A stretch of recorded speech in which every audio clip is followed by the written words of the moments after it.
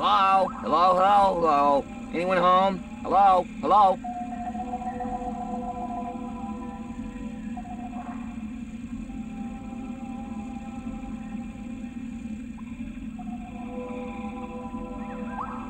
Something is happening, Sparks. I can't explain it. No kidding. While you were catatonic, this whole place has been hooting and howling. Listen. What is that?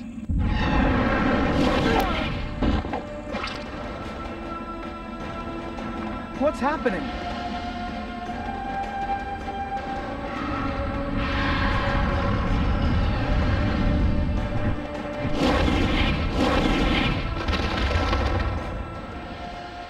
The temple is under attack. The others are still sleeping. We need to get back. Are you crazy? Do you want to run towards the danger? We're going to have to find another way in. Come on. Ugh, I liked you better when you were sleeping.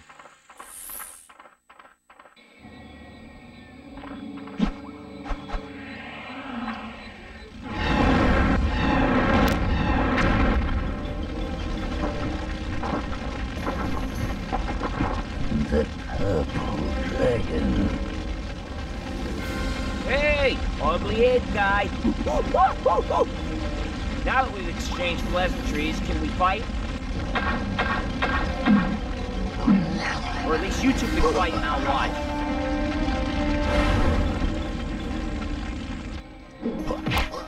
Bom pessoal, estamos começando agora a segunda parte do detonado de Legend of Spyro The Eternal Night. Vimos na parte anterior que o Spyro ele deu um, ele desmaiou e foi parar no no mundo desconhecido. Segundo o cronista que conversou com ele, é o o mundo está passando por uma mudança, uma transformação. Segundo ele, as luas celestiais estão se é, em contagem regressiva e que o tempo está acabando. Falou que o inimigo também está se aproximando. Bom, até agora ele falou em enigmas. Até agora não sabemos ao certo o que, que, que, ele está falando. Bom, mas assim que o Spyro retornou, ele percebeu que o, o templo estava sendo atacado pelos macacos. Bom, agora nós estamos aqui na parte da batalha. Nós tivemos um tutorial no vídeo passado, então os comandos principais são é, apertamos o X para pular, o círculo, segurando o círculo, nós mandamos o inimigo no ar e aperta, ah, se, em seguida apertamos o X. Com L2 nós paramos o tempo, como eu fiz agora aqui. E o quadrado nós usamos o poder de baforada. Lembrando que as joias vermelhas servem para restabelecer a saúde, as azuis é, serem usadas depois para melhorar as baforadas, as verdes para recuperar magia, que é a barrinha verde lá no alto, e o roxo é o poder de fúria. Quando está cheio, nós podemos usar aquele poder é, com imagens cinematográficas do jogo. Bom, nessa, nesse vídeo aqui, nessa parte especificamente, nós temos que derrotar todos os inimigos primeiro, como eu acabei agora. Bom.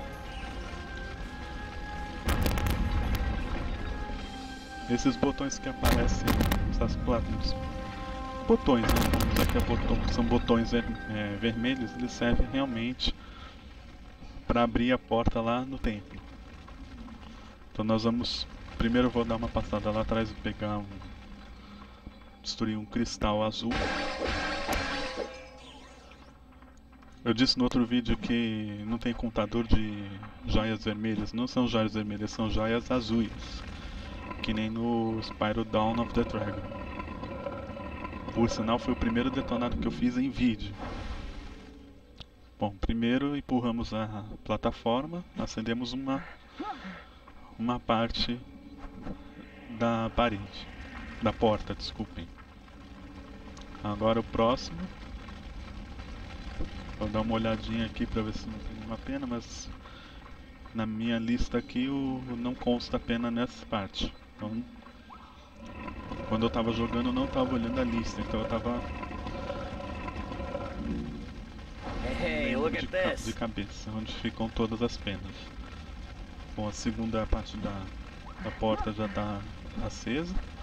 Agora para a terceira, nós vamos ter que ficar em cima do botão, esperar a porta abrir e apertar L2 e usar R1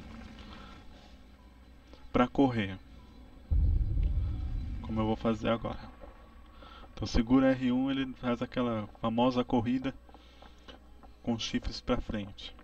Só que aí não foi muito bem feito porque o, o Spyro só vai totalmente reto, não tem como virar muito. E quando ele vira, é bater na parede. Bom, agora nós vamos acender essas três tochas. Temos uma na outra sala, mais duas aqui para abrir a porta. Vai aparecer agora uma, uma armadilha.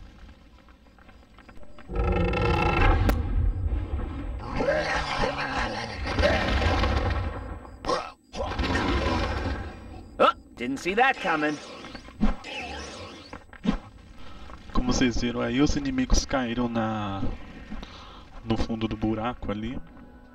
Nós vamos ter que tomar cuidado também mais pra frente, porque vão ter outros, outras partes dessa como- em que o piso é instável. Vamos derrotar esses inimigos aqui e acender as tochas para abrir a próxima porta.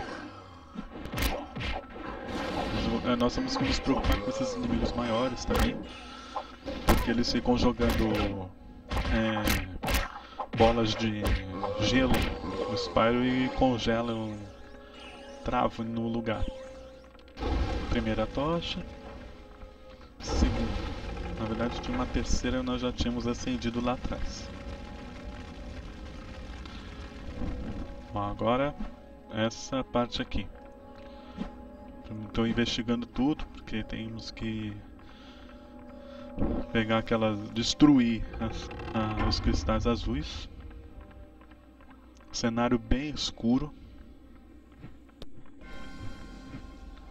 Mais um ataque dos macacos. Dessa vez agora tem essas aranhas. Elas vão devorar os macacos.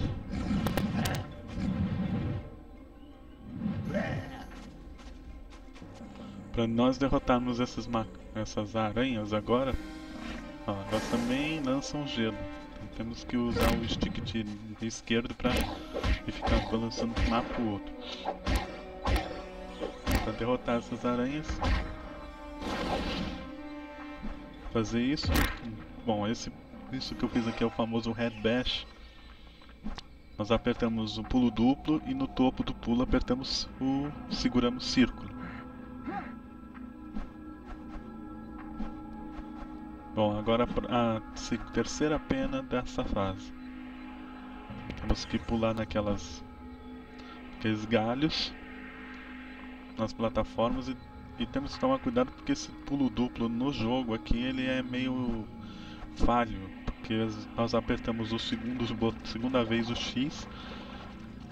O Spyro deve fazer um movimento específico com a asa para poder dar o segundo salto. Então não é tão simples assim. Deveria ser apertar só duas vezes o X e já fazer o pulo duplo, mas não é bem assim não. Às vezes vocês vão, vocês vão perceber que mais pra frente, quando nós tivermos muitos abismos, eu vou acabar perdendo por causa dessa, desse problema no pulo duplo. Ah, acabei usando errado o poder. Bom, pra derrotar esse inimigo aqui nós vamos ter que usar. É, um macaco que está movimentando esse. Parece uma lesma gigante. Combinamos o poder de baforada com os combos do Spyro. Pronto, ó. Derrotar.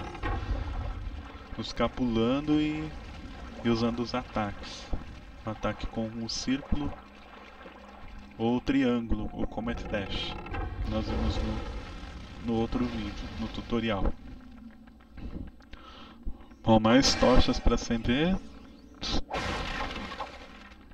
para abrir mais uma porta. Tem a tocha aqui desse lado para acender ainda. Pronto. Esses inimigos aqui são chatos. É só usar fogo direto neles e mesclar com combos. Eles aqui até que são rápidos serem derrotados, mas mais pra frente eles vão ser mais difíceis.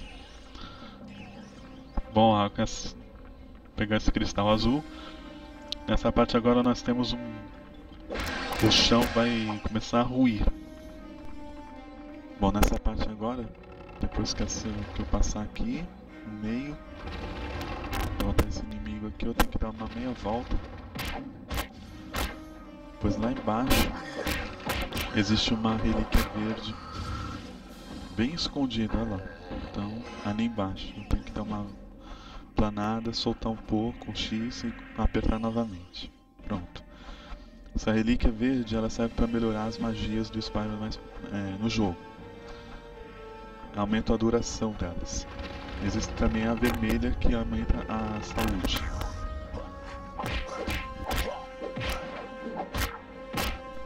Porque às vezes incomoda um pouco só essas, essas câmeras lentas constantes nos, nos combos de ar, no ar. Tanto que eu nem gosto muito de usar o, esse combo aéreo.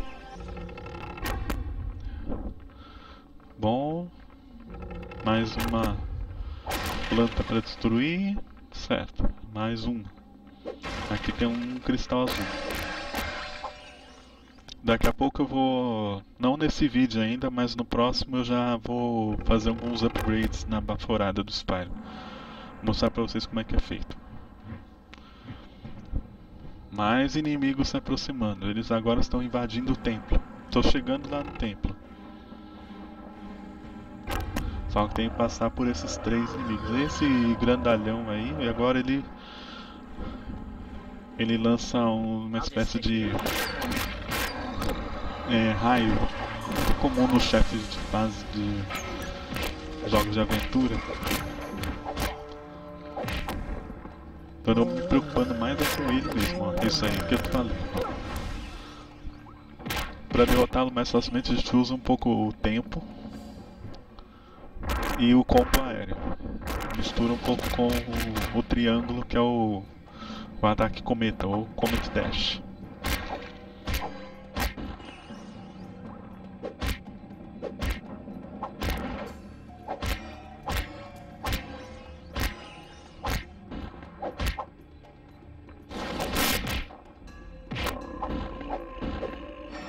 Já foi derrotado. Agora vamos acender as tochas. Tem uma mais baixa aqui, a outra... Agora tem que dar um pulo duplo aqui pra chegar nela. E tem uma terceira agora, dando essa volta que eu fiz aqui nessas plataformas. Bom, a porta se abriu. Vamos ver agora, estamos chegando perto da saída do templo. Só vou repor a energia que estava baixa ainda, né? Tinha perdido um pouco na batalha agora contra esse inimigo grandalhão aí. Bom, tem uma planta aqui para destruir essa passagem aqui. É o caminho da fase. Tem energia aqui. E aqui atrás tem uma joia azul. Um cristal azul.